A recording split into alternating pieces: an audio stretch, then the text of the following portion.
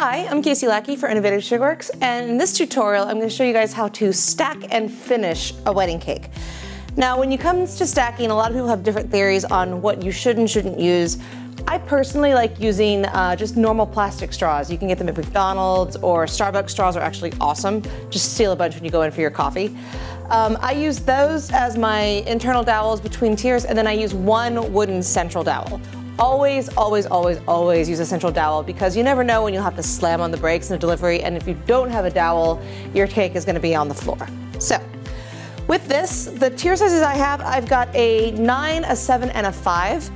So my general rule for how many straws you put in each tier is however many inches the tier above it is, is the number of straws you put in that tier. So since I've got my nine here, my next tier size is a seven, I'll need seven straws. Sometimes if I'm feeling like it's a double barrel tier, which this one is. I might round up and do eight. I'm gonna go ahead and do eight for this one just in case. But a lot of people, also, I've seen it on TV, people putting 30 straws in a cake. You don't need to do that. It's completely unnecessary. So two, four, six, seven, eight. All right. And I like to do mine in a star pattern. So I'll do five and then I'll keep moving in. All right. So I've got my straws placed. The next thing I wanna do is go ahead and put, I've just got a piece of parchment because one of the things about fondant and buttercream cakes is they tend to stick to each other when you try to slice them. So this is purely for ease of your client to be able to cut their cake without pulling all the fondant off when they want to use it. Notice it fits perfectly over all the straws. So just kind of adhere that guy down. Because it's parchment, it will come off clean. And then I want to just double check and make sure all my straws are level. Looks pretty good to me.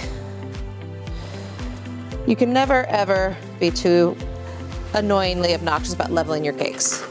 And so now we'll go ahead and grab the next tier, which is our super barrel. This one already has straws in the bottom. It's got seven straws to support the seven inches. So we're just putting the five in the top for the top tier. Come here. These are always a lot of fun to move.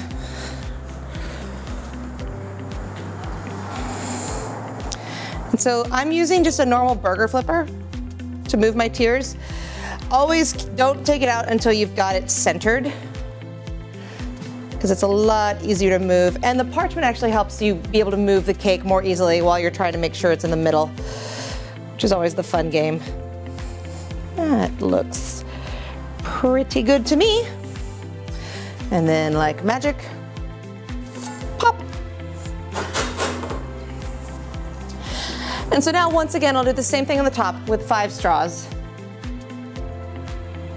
I'm gonna take that all the way down, mark it with your scissors, pull it back up,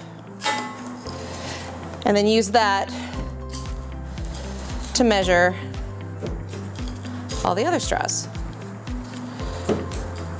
Four and five. And then one, two, three, four, and five. Again, I've got another parchment paper that I'm gonna put over those straws.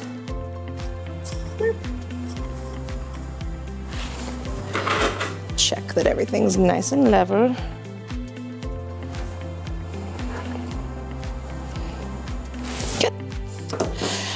For this tier, since the next tier is my top and this one does not have a topper for me to hide a hole for the dowel, I'm gonna go ahead and put my central dowel in right now. So I got this guy sharpened on one side already. And I'm gonna use it to kind of measure and just kind of eyeball it. You want about three, two to three inches above the top of the cake so it will go in the center of that guy and hold it all together without damaging the top. Got my handy dandy cutters.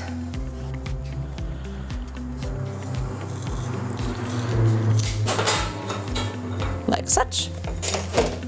And then I just use an X-Acto knife to sharpen them. You can of course use a pencil sharpener, but for me, I can never find a pencil sharpener when I need it.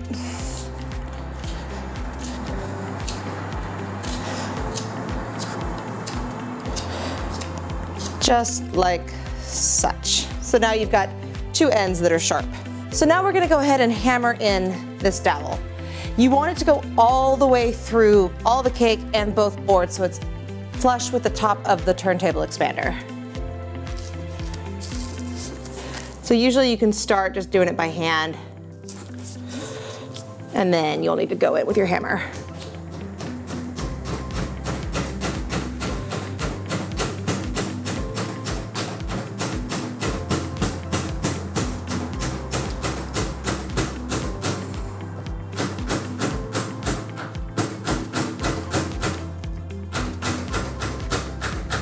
And you'll actually hear it. That's the sound. You'll hear it when it hits the top of the turntable. It'll make that kind of like hollow ping. Hear that? That's how you know you're all the way down where you need to be.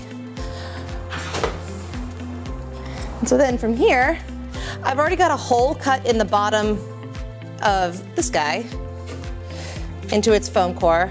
You want to see real quick, I'll show you my hole. So it's just enough in the center of the board so that the dowel, the central dowel will fit through it.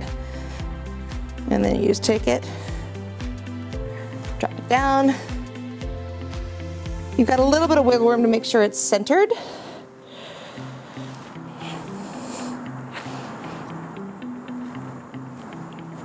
That's better. And then I always use my fondant smoother just to give it one good push.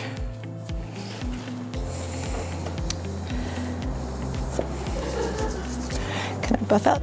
And so now to finish this, we wanna go ahead and gunge our edges because I've got that little bit of gap and I wanna make this as seamless a cake as possible.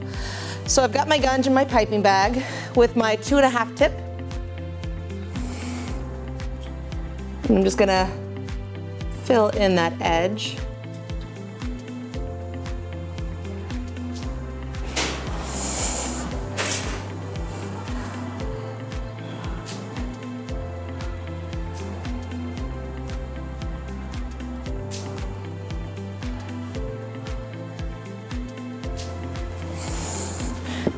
Bottom.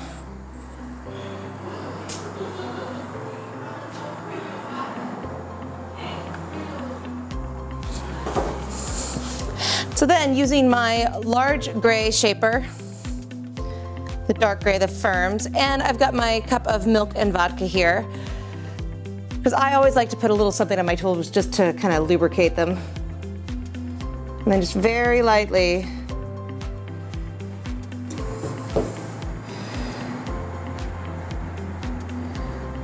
through and just push that gun in between the tiers. Scraping away the excess.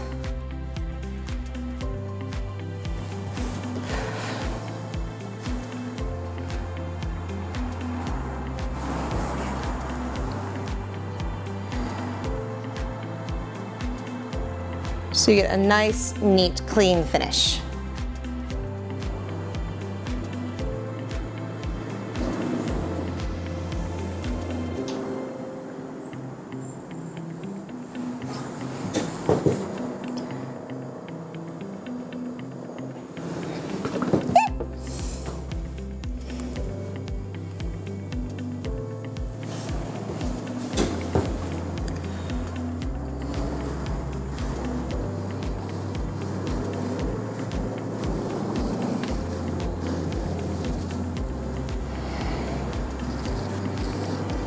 There is our wedding cake all stacked, gunged, and finished and ready to be decorated. Hope you guys enjoyed this tutorial on how to stack a wedding cake. Trust me, this is the most secure, awesome stack you'll ever have. So I hope you guys learned a lot and we'll see you next time.